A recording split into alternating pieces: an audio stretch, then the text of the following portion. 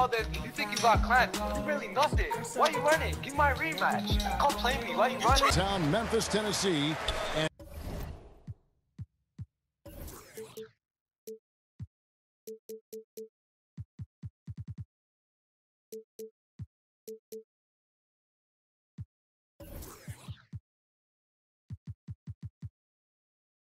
as the Grizzlies try to defend their home court. We're all set to bring you NBA action. I'm Kevin Harlan, joined by Greg Anthony and Richard Jefferson, with David Aldridge roaming the sideline. Showing off that vert, Morant attacks the basket with just such intensity. There's not much any defense can do with it. In terms of entertainment factor, can any current player top Ja Morant? I mean, we've seen Ja with some vicious in-game throwdown. Now, here's Adams. Pass to Brooks. Kick out to Adams. And here's Morant. Clock at six. Here's Jackson. Back to Bane. Morant, that's for two. And three chances on that possession, but they just couldn't find a way to score. Hey, Greg, talking about the great Ja Morant, this guy is just flat out fun to watch. Well, Ja's been known to go off for 50 on any given night, but he also looks for others, dropping some nasty dimes. Morant has an insane combination of athleticism and skill. This guy can do anything. And yes, it's good. The team first mindset of Jackson, willing to get the ball to his open guys. Definitely a situation you want to make sure you don't give him too good of a look. Now, here's Bane. Morant with it. Now defended by Mitchell. Bane with the bucket. And this is part of Morant's role. As a guard, he's responsible for finding the open man. And the rejection by Jackson. Here's Morant. And he can't jam it through. To the paint. And oh boy, a lot of contact there, but he gets the call and will shoot two. Greg, an outstanding score. Donovan Mitchell takes it to another level in the doesn't he? And Kevin, how about all of his averages go up come playoff time? Spider is a guy who wants the limelight, and like other stars, takes on more of a load in the postseason. Pass to Aldama. Back to Jones. Fires the three. The shot missing. And sometimes on defense, you can just get lucky. Here's Osman. Aldama with the rebound. Memphis leading by five. Nobody near Williams. And again, Memphis no good. Grizzlies foul. This is his second trip to the line in this one. First personal foul. Second team foul. No good on the free throw. Shooting Wow, for Cleveland. what, did he have something in his eye on that shot? Maybe. And not what we're accustomed to seeing from him at all from the free throw line. And so the first quarter is in the books. Grizzlies lead by five. The second quarter coming up. The Cavaliers, two. All right. And if you're just joining us, we've played through one quarter in this one. Guys, what's your take on the Grizzlies so far? What we saw in that first quarter, uh, they won their matchups defensively. Making it as difficult as possible for the offense to find clean looks. Great stuff. Here's Mobley, Mobley. and Mobley throws it down. What an elite athlete Mobley is, getting off the ground effortlessly for the throwdown. Looking at this Cleveland Cavaliers team, this is a squad that really wants to get out of that championship team shadow. They want to establish their own identity. Here's Okoro. Isaac Okoro. That's good. It's Rubio with the assist. Ricky Rubio. Okoro's got his first two points. Nice job creating for the easy dish. Brooks misses. We've talked about it, Richard. The city of Cleveland eternally grateful to LeBron for winning them a title back in 2016. And so is the franchise, but it's understandable why these players want to be given respect on what they've done for this team since he left, especially considering the recent success they've had with this young crew. Going inside. Morant with a wide open look. The Grizzlies with another miss. Pass to Okoro. Back to Love. For three. Kevin It's Love. good. He makes his first shot of the game. A volume three-point shooter for a big man. Love can certainly torch you from downtown. Here's Konchar. On the wing, Jackson. Some nice passing there by Memphis. Back to Morant. They need this. Jackson misses. Cavaliers leading. And now we've got some time to check in from the sidelines. You got for us, DA? Thanks very much. Caris LeVert has become one of the game's best slashers. He says, honestly, I just go to the front of the rim and work on different spins. Getting more comfortable with both hands and finishing. Kyrie Irving did that when he was younger, and that's one of the ways he became a great finisher. Kevin, back to you. He is a great finisher. David thanks. He's studying the greats, and it's paying off. Morant with it. He's picked up by LeVert.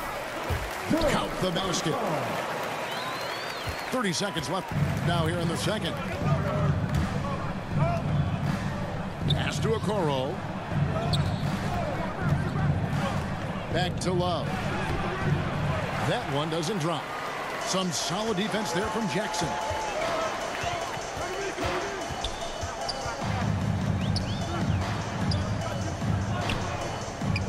Here's Aldama. Launches it. That one doesn't go. Can't hit that one. That's the end of the And a close game so far through the first two quarters as we reach halftime. Cavaliers ahead. They lead by two. Your Grizzlies, Houston. And as we get into this third quarter, as we've seen so far, neither team able to create much separation on the scoreboard yet. In decades past, teams that led the league in threes, if they shot that same rate now, would rank Greg dead last in the NBA. So with that thought, which teams of yesteryear probably should have shot more threes? And that's a good one. Kevin, I think you got to look back to the Run TMC Warriors, right? How about the Larry Bird Celtics? Man, they could knock down the triple. He hangs in there and cashes in on the second chance points. Mobley's got the lead up to four now for the Cavs. When you're guarding Mobley, you have to finish the possession on D. Seal him off hard. Evan, look, this man's going to punish you on that glass. It's a great move, and he catches the defense completely off guard. Yeah, taking it right to the rim. One imagines that might be discussed at halftime. That's going to be on the film. From 12 feet out. Here's Allen. Adams puts every ounce of energy into his defense. He's not out there to contest shots. He's out there to reject them. Here's Allen. And Allen slams it in. There he is gone. And in terms of size, not your typical center, but man, he plays as big as any of them thanks to that terrific leaping ability. Pass to Williams. Back to Jones. In the corner, it's Payne. Just five to shoot. The kick out to Williams. And it's denied. Mitchell outside. And you figured once Gobert was traded, it, it was a matter of time before Mitchell was moved as well. You knew a team would jump at the chance to add him. And here we are now, a, new start with a starring role for Donovan Mitchell. That misses, so he splits the free throws. One word you always hear the Grizzly players mention is chemistry. Yeah, you can't fake chemistry. And it's true. When you ask these guys what makes their team special, they point out what a tight-knit group they are. Some people might not think chemistry is a big deal, but it is huge when it comes to this league. And one thing is, if you look on paper, it can feel like there's chemistry. But as you know, sometimes it doesn't translate to the real world. No, it does not translate. And then after that, if you don't have chemistry, you better have professionals. And Garland has it in the corner. Inside. It's stolen by Adams. Stolen by Mitchell. The Cavaliers again can't hit. And a wide open look for Payne. The shot goes down and gets this game back to even. Bane's got five points now in the quarter. And we talk about the importance on the offensive end. Timeout is called first of the game for the Cavaliers.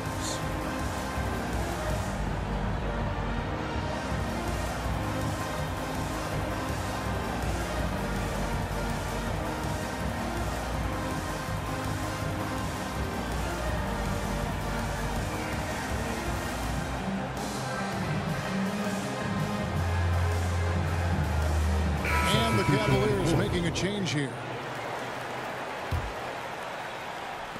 So it's Rubio bringing it up for the Cleveland Cavaliers. Here's Allen. And a lot of contact on that one, so he'll shoot two here. Second person personal foul. Jarrett Allen has become a cornerstone of this Cleveland Cavalier team. He plays on both sides of the ball with such intensity. At the line for two. And he's good on the second. And you can sense that the pressure might have gotten to him a little bit, but he did do enough to put them in the lead.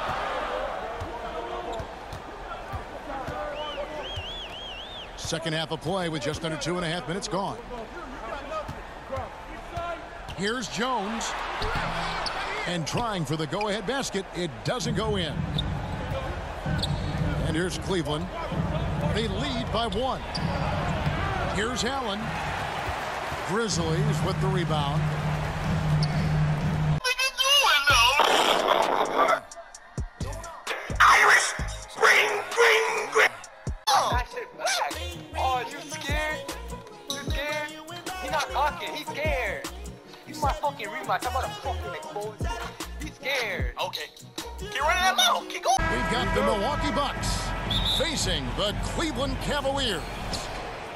Glad to have you with us for more NBA action.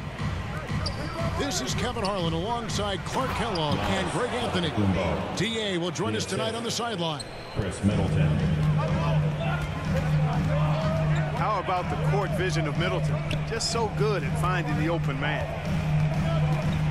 And the picture of consistency, Khris Middleton is like a metronome. Gives you 20 points, over five rebounds and assists every year. Down to five on the shot clock. Here's Mitchell. He draws iron on the dunk. The kick out to Antetokounmpo. To the inside. Here's Lopez. Tries again. Oh, and Antetokounmpo hammers it in. Well, that's just a matter of outworking the defense there by Giannis, beating them to the glass and sending it right back. Two minutes remaining in the first. And here's Harlan for three. Cleveland with a fresh shot clock. Here's Stevens. It's stolen by Antetokounmpo. Top of the key, Holiday. It's stolen by Allen. For three, Mitchell. That one misses. And Milwaukee the other way now. One reason for Middleton's consistency, he plays at his own pace. And that's a great point, Kevin. With- his size and shooting touch, he doesn't need to blow by his man to score. All about getting to his spots. For three, Middleton comes out of the gate empty. He's 0 for 1. And here's Garland for three. Allen with the rebound. And about two minutes played here in the first quarter. Giannis, no good. Those are chances almost always you can rely on him to get you two points, but the D just enough to keep him out of it. Donovan Mitchell. Garland with the bucket. And how about the awareness of Mitchell? That That's what stands out to me. He, he has a decision to make and does it with terrific timing. Nice dime drop there from Holiday. Excellent awareness. And here's Garland for three. Another miss by Garland. And so it's Middleton with it. He brings it up for Milwaukee. And to Tacumbo. Antetokounmpo. Lays it up off the glass. Antetokounmpo's got eight points. Boy, once Giannis gets the ball in the painted area, Antetokounmpo is really almost automatic. Antetokounmpo. That's a double whammy, guys. That's right. A great defensive play, then the emphatic stuff. Well, turning defense to offense, we talk about it all the time. Try to hit your opponent at the other end before they can set up the defense. And so it's the Milwaukee Bucks in the driver's seat, up eight points at the end of the quarter.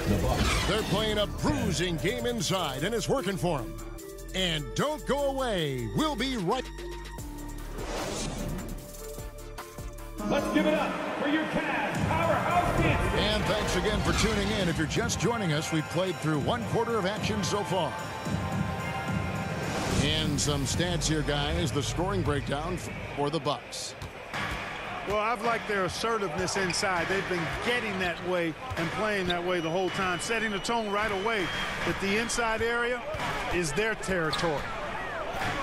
To Okoro.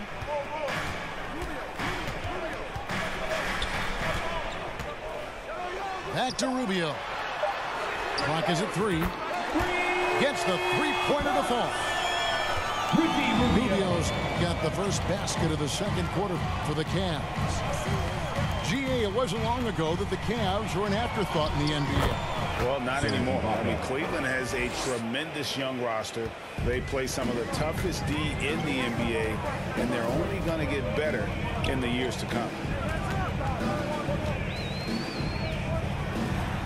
Rubio with it. He can't get that one to fall. Good work defensively by Carter. They swipe it. Two minutes remaining in the first half. Two minutes. Rubio left side. Over to the left wing.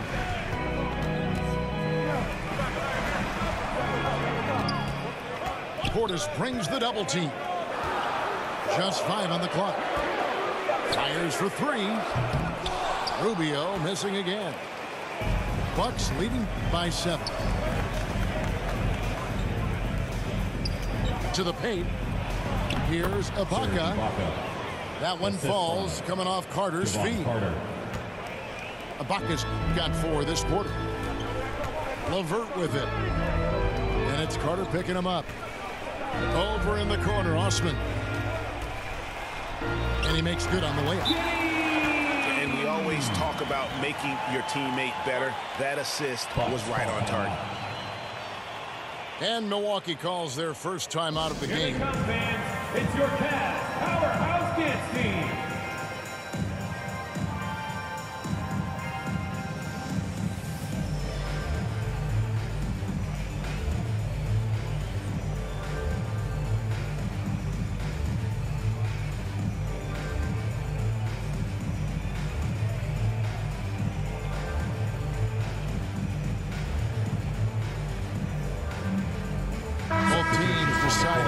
it up. And so Holiday will bring it up for Milwaukee. It's Antetokounmpo on the wing. Shoots over Mobley. And foul on the shot. He'll shoot two at the free throw line. Well, that's just an assertive play by Giannis against tough defense, drawing the foul and still getting the shot off. And Giannis's journey, GA, so incredibly compelling. A full-length movie made about his and his brother's path to the NBA. Well, you hear that saying, my life is like a movie. Never truer than for Giannis. It's been an odyssey for the Greek freak. Mobley outside. And LeVert, here we go. Clock at six. The three from Garland. Does not score again. That's his fourth miss against one make. Lopez outside. And here is Antetokounmpo. 11 points in the game. Lopez, no what? I'm shocked that didn't turn into three points. I mean, he makes you pay on those nearly every time. Inside. Mobley outside. And Garland has it in the corner. Some solid defense from Antetokounmpo. And he did everything he could to make that shot as difficult as possible. And you know what, guys? That will pump him up because he takes a ton of pride in what he does. And so it's Milwaukee holding on to an eight-point lead heading into the break. Defensively, they have gotten after it, contesting every shot going up. We'll return shortly. And for those of you just tuning in, thanks for being with us. The second half of this game still to play. Now, Garland to the wing right side. Back to Mitchell. Cleveland moving it around. Bucket is good. Mitchell's got the first basket of the second half. That one for the Cavs. We know the league's cracking down on those dangerous plays that risk a player's health. Why was that less of a focus when you play? That's a great question. I think it's smarter to approach the game this way. We, we don't want to have unnecessary injury because of guys maybe just taking it a little too far with the physicality. There's Garland. Good, and it's Mitchell picking up the assist. Garland's got his second basket. And you want more of this from Mitchell. Good to see him moving the ball like that. And you figured once Gobert was traded, it, it was a matter of time before Mitchell was moved as well. The team would jump at the chance to add him. And here we are now. A, a new start with a starring role for Donovan Mitchell. And let's head over to the sideline and catch up with David Aldridge. Thanks very much. Caris LeVert has become one of the game's best slashers. He says, honestly, I just go to the front of the rim and work on different spins. Getting more comfortable with both hands and finishing. Kyrie Irving did that when he was younger, and that's one of the ways he became a great finisher. Kevin, back to you. He is a great finisher. David thanks. He's studying the greats, and it's paying off. You got to like what Rubio does here. I mean, working his magic in the painted area. Back to Giannis. Doesn't go for him. Excellent D there from Allen. Cavaliers trailing. Right, everything they're doing is working right now. Good run they have going right now. The momentum is huge. At the line. Really no idea why you're fouling in a situation like that. You know, maybe there's some bad blood between those two. Yeah, but that's no excuse for that kind of foul. I mean, that might be an explanation for it, but certainly doesn't justify it. And even then, it's uh, just not a good play. Kevin Love. And Greg for Kevin Love. He feels like he's got a lot of years left in the league. And Kevin, coming off the bench should lengthen the end of his career. He can thrive as a bench weapon with that green light, and he's got that light to let it fly with that shot. That's the kind of aggressive and assertive play they need as we get closer and closer to crunch time.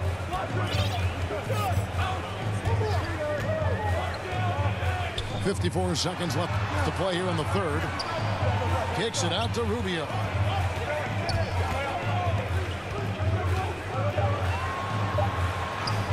Lays it up and banks it in. Rubio's got four points now in the quarter. This is what Rubio gives you. Effort combined with skill. Able to finish through contact. Down low. And Portis throws it down. Oh, why, dunk you very much. he, he can really fly, and you combine that, Greg, with some nice penetration, too, and you've got two points. A lot of bounceability there, guys. I mean, well above the rim. That's what makes him dangerous. Five-second differential between the shot clock and the game clock. Near the three-point line, it's Love. Milwaukee with the rebound. Tell you what, that is a missed opportunity from mid-range for sure. With as little defense as was shown, should have made that one. You gotta love his hustle, leaving the defense no time to react. And you know you're gonna get those buckets, guys, when you're quick to get out on the break. Get that ball. And we've watched three so far in this one. 21. The Bucks on top, up five. And do not go away as we'll be back in just a few moments with the start of our fourth quarter coming up next. Three tenths quarters behind us. One more to go. Thanks for being with us as we begin the fourth. Here's Antetokounmpo. And the slam dunk by Antetokounmpo.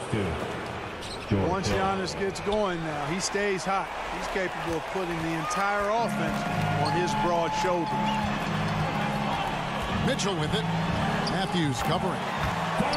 And there it is for him. And you want him taking big shots for you in big moments. That one was as easy as it gets. Well, you don't want to give him any open shots at this stage. Never mind a layup. Come on now. My goodness. And it's Mitchell with the jam. Mitchell. Yeah, the easy hoop assisted by Allen that time. He's developed a nice passing game.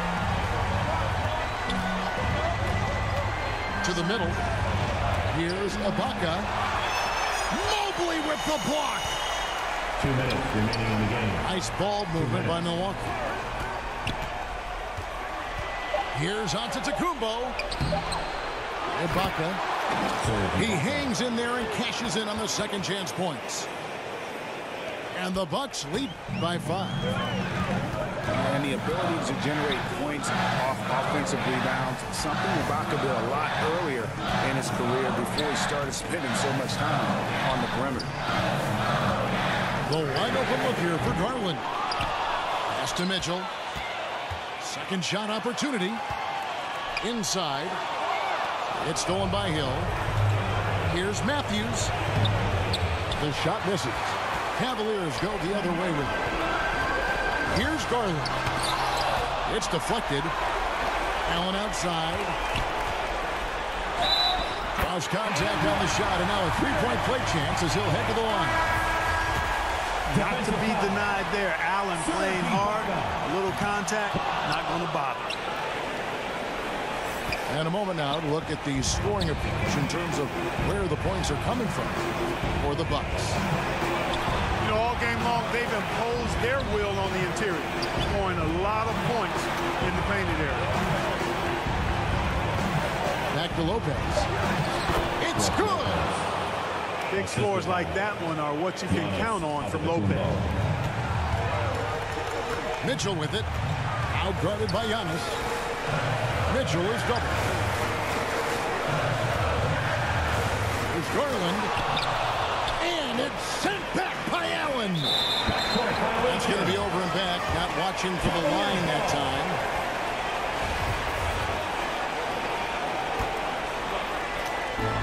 Thirty-five seconds left here in the fourth quarter.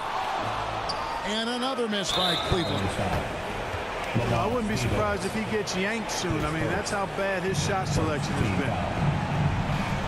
And so Giannis will bring it up for Milwaukee. Allen outside. The shot by Middleton. Wide open. Middleton. Sinks the triple. And now an eight-point Bucks lead. Presence of mind, really important. You know, this game is more mental than physical. Middleton is a guy who stays in the moment. He's exceptional at knocking down a good shot off a good pass. Second And he cannot get the first one to drop. Tough one to miss. shooting for Milwaukee. A multiple-time Giannis MVP. Antetokounmpo. You know, what's really scary is that Giannis feels like he can keep getting better, and more importantly, he does the work to get better. Pass to Allen. From deep. That shot, no good. From deep, onto Antetokounmpo. Off target. And so the Bucks take the win. They seem to relish their role as the best.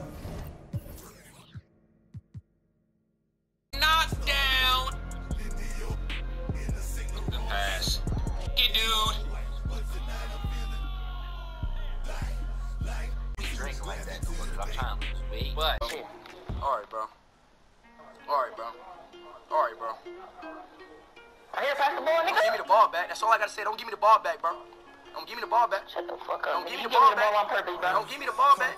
Give it to me then. Dumbass. So stupid ass, nigga. Trash. So bitch, shut your Watching big it head suck, ass up, nigga. You nigga. look out on my Where you from? Oh, hey, hey, nah, hey, nah, where you from? though?